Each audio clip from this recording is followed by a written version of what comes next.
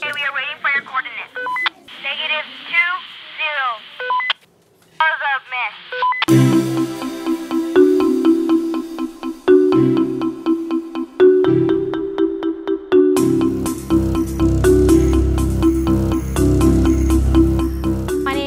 Rosie Perez. I um, am a sixth grade math teacher here at Coakley Middle School, and I have my sixth grade class playing pre-AP, playing against another sixth grade class in a completely different wing, uh, a game of Battleship.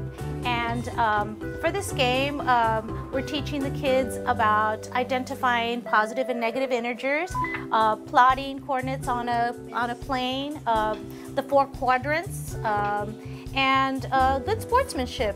And we're using uh, technology such as, right now we're using walkie-talkies, we've used speakerphones, we've used cell phones, and we're hoping to Skype really soon. And the kids are having a really great time. Um, and uh, it, it's actually been going on for a few days.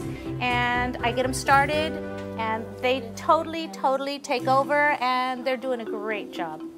We're doing this because it's hands-on, it's so much more fun, it's much more meaningful to them, and years and years from now they're going to remember how to plot coordinates on a grid, they're going to be able to implement this in their everyday life because this was so memorable and it was so much fun. My name is Kendrick Stevenson, and um, I am a student in Ms. Bettis' sixth grade pre-AP math class.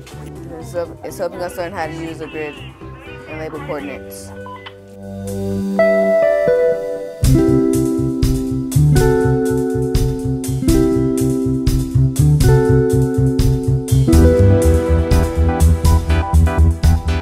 My name is Jonathan Lopez and I'm in sixth grade. Today we were doing playing Battleship well, with the coordinates grid. We were looking at this. This is R, the that we were shooting, and this is when they were shooting. The dots, these dots right here, they were our ships, but they already took out three, so we just have two more.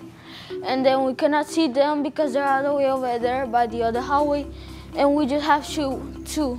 Okay, my name is Ronnie Gonzalez. I'm at Coakley Middle School. This is my eighth year teaching math. And today we, uh, we're doing a battleship. Uh, we're utilizing the concept of battleship to uh, help the students uh, graph rational values on a number line. Pretty much the reason that we are trying to concentrate a lot on activities this year is uh, students get a lot more out of it. There's things that come out of activities that teachers don't even plan on. Uh, we, we come up with an activity, we try to gear it towards what we've been um, assessing. However, sometimes you know how the activity is going to go, but then other things that you didn't even plan on come out of it. Um, they'll, they'll make their own generalizations, uh, they'll make their own assumptions, and a lot of the times it's good. It's good stuff that comes out of that. And of course, the level of retainment, they'll retain a lot more because they came up with it versus us telling them what it is that we want to do. So. Maybe, could, we, maybe we can compete against another school in another country. Three negative three.